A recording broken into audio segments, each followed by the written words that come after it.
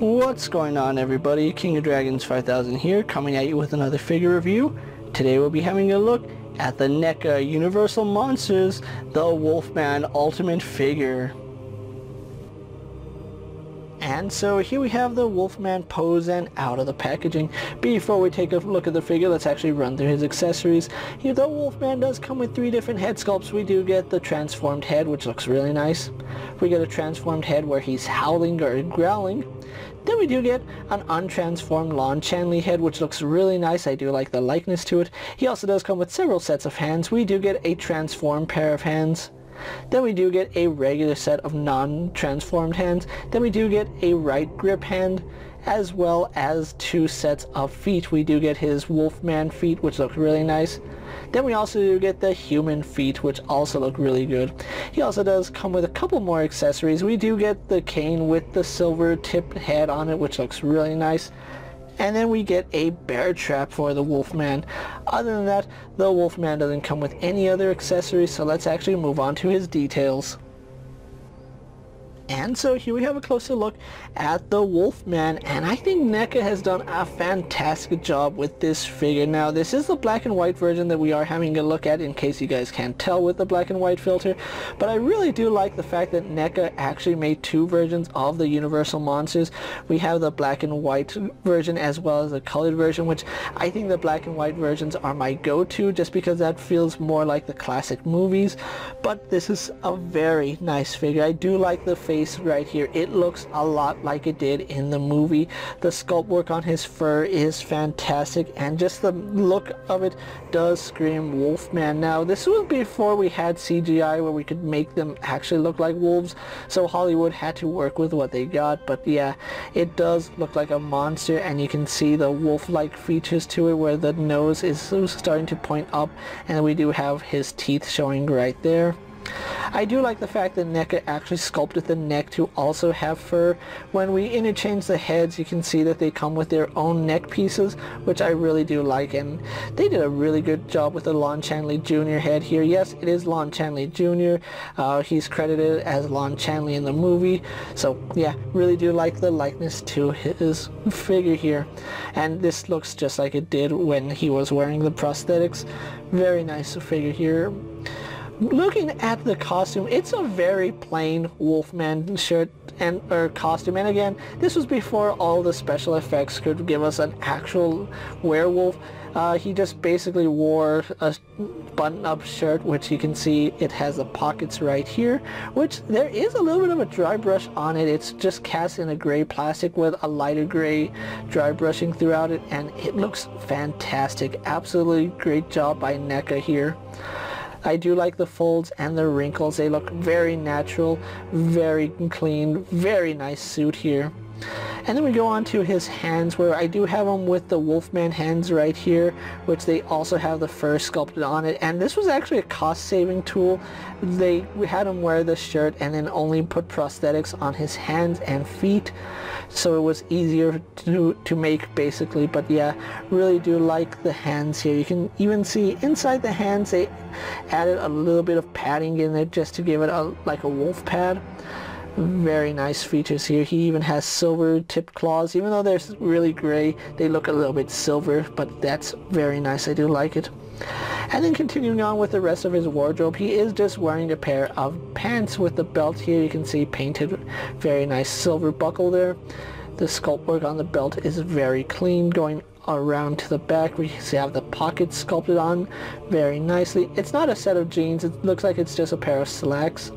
And again, the wrinkles on it look superb. NECA is very good at getting those fine details and the texturing on both his pants and his shirt really do work for this figure. Then we go on to his uh, feet here where you can see they rolled up his pants. So we have two different colors of his pants. We have the darker gray then we have the lighter interior gray which again looks fantastic. And then we do go on to his feet. Now one thing I didn't notice is that NECA did sculpt his feet so that he has somewhat of a digitigrade foot. In case you don't know what that is digitigrade is when an animal stands on its toes. Uh, we also do have his feet here which gives him a more plantigraded feet which is where you stand flat-footed which I do like that feature but it does make it a little bit hard to stand just because of how small that area of the plantigrade is or the digitigrade so he doesn't really have too much to lean with. He can thankfully stand on his heels which does kind of raise his feet up a little bit but I would rather him have that than you know tipping over all the time. So very nice work by NECA here. They did a fantastic job with the Wolfman. So with that out of the way guys, let's actually get the Wolfman compared to other figures you may have in your collection. Here we have the Wolfman posed next to a Marvel Legends Cyclops and a DC Multiverse Superman. Here we have the Wolfman posed next to a WWE Elite Scale figure and a Mezco 112th Collective Popeye the Sailor Man. Here we do have the Wolfman pose next to a Lightning Collection White Ranger and a Star Wars Black Series Mandalorian. And finally, here we do have the NECA Wolfman pose next to the NECA Universal Monsters Frankenstein. So with the comparisons out of the way guys, let's actually move on to the Wolfman's articulation. Now we do have a ball joint here in the head, but it is very stiff. I cannot get this head to actually move the way I want it to. It's a very stiff joint here at the top of the neck. Uh, it is a double ball joint and you would be able to get a lot of range out of that, but yeah, it's just so stiff. Uh, if I can just pop the head off really fast just so you guys can see you do get all the range of movement that you would want out of it, but it's just so stiff. I'm going to have to heat that up, pop it off, and then put some lubrication in there just because it is very stiff. Thankfully he does have a ball joint here at the neck so that does help with some movement as well as rotation and left and right so really good job in the head there with the exception of it being too tight. Arms are on ball joints which do go out to the side eh, about almost horizontal which is a little bit unfortunate. They do go all the way around, no problem. We do have a elbow joint which does go past 90 degrees so I do like that. Uh, swivel here at the elbow in lieu of a bicep swivel.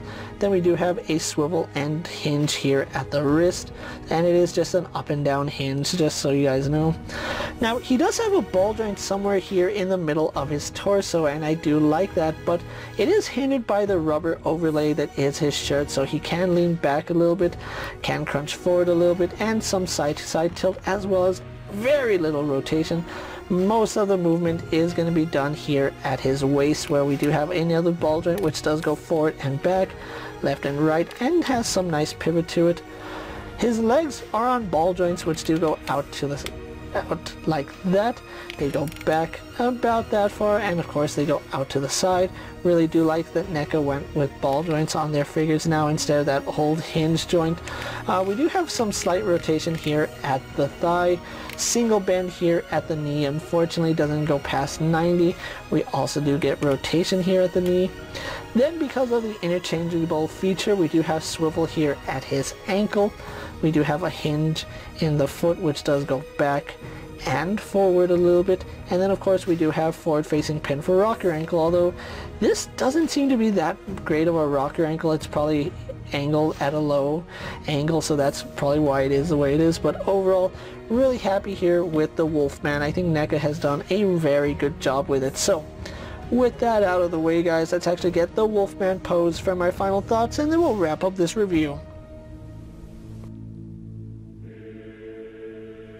And so here we have the NECA Universal Monsters Ultimate Wolfman pose for my final thoughts. And overall, I really do like this figure. Now, the Wolfman's costume isn't the most exciting that we've seen. It's basically just some dude in a suit and a button-up t-shirt. Now, again, I'm not criticizing it for that. That's basically how he looked in the movie, and this was what Hollywood had to work with at the time. It's a very nice figure to own, especially if you're a fan of the Universal Monsters like I am. This was one line that that when they announced I was so looking forward to and you know what? So far they haven't disappointed and I really do like the way Wolfman here is. This is one figure I see people being able to get two versions of. That way you can have the Wolfman in his feral form and then you can have him in his Lawrence Tyburn form or is I think that was his name, Lawrence Tyburn. I'll have to take a look. But yeah, I can see people picking up two Wolfman figures just so they can have the human form and the wolf form. Although I think the wolf form is the more appealing version. It never hurts having civilian clothed figures in your collection now. If you are looking for the black and white version of the Wolfman like we have here, he is available at Target. That's where I found my Wolfman, which I was surprised to actually see him on the shelf my Target never has anything stocked, so finally being able to find merchandise, I am really happy to have Wolfman in my collection. Now I do have the colored version on the way, which we will have a look at in the future, but this black and white version goes really nicely with the black and white Frankenstein, which we had a look at earlier. If you are going to pick up this Wolfman, he is going to run you $32 to $34, just depending on your area, which is kind of high, but that's what we're coming to expect from figures. Prices are going up, unfortunately, and if you can pick up the Wolfman in your you're a fan of the 1940s Wolfman movie, this is a must-have figure. With that being said guys, I'm King of Dragons 5000. Don't forget to like this video, leave a comment, subscribe to my channel, go ahead and check out all my other action figure reviews as well as all my other Universal Monsters and my NECA videos. Hopefully you find them informative. As always, if there's a figure you would like to see me review, let me know down in the comments and if it's in my collection, I'll gladly have a look at it. While you're at it, check out my Instagram account for new and exciting action figure photos and as always, ring that bell to be notified every time I upload a video. Until next time guys, I'll see you later. Take care everyone.